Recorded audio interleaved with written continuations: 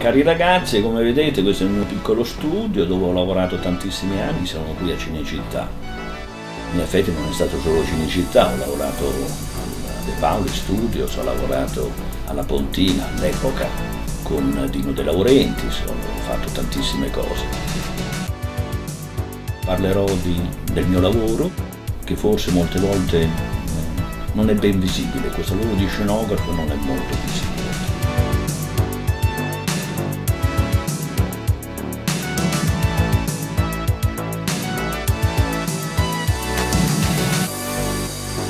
Io vi aspetto e vi racconterò tante tante cose.